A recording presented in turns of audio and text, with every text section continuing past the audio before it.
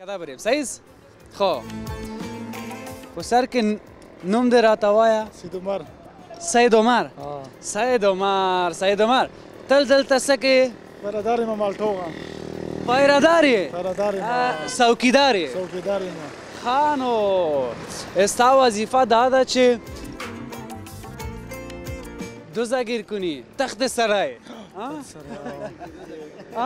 چې غل گیر کې یعنی غل گیر که وظیفه چیز که دوزه گیر کنه آه آه وظیفه چیست که دوزه گیر کنم ما خو به فارسی دوز میگیم برو ما ترجمهش میکنم من خو د فارسی ورته دوز وایو تاسو تخت سرای غل غل غل غل غل غل غل وایو غلی و خانو اته تر اوسه د مالتو پایرادار یې نه؟ څوکیدار یې. څوکیدار ول ښه معاش ورکوي ښه معاش شپږ زره افغانۍ ورکوي شپږ زره.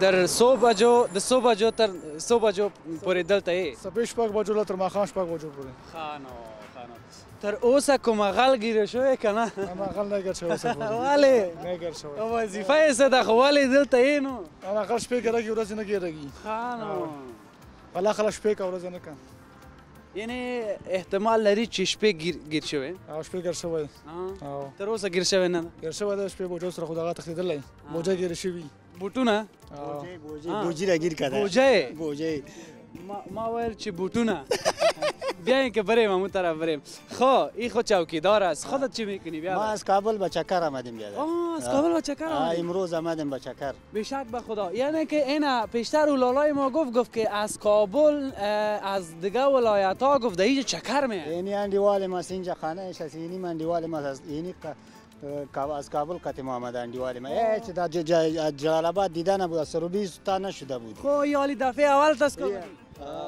بگه احساس تا چی احساس داری؟ بسیار خوش است. بسیار خوش است که چکر آمدیم. خب بسیار خوش هستی که چکر آمدیم.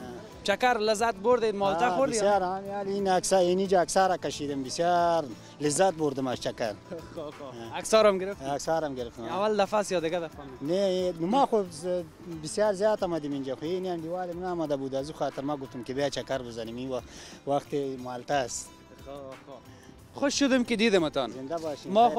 از کابل آمدیم از تلویزیون آریانا هستیم. کدام. گپ گفتنی دارین؟ اینمی کامرا و مایک در خدمتتان. خدا شما را کامیاب کنه خدا افغانستان جور کنه کامیاب و سربلند باشه با افغانستان عزت سربلند باشین. از شما بسیار خوش شدیم. زنده باشین.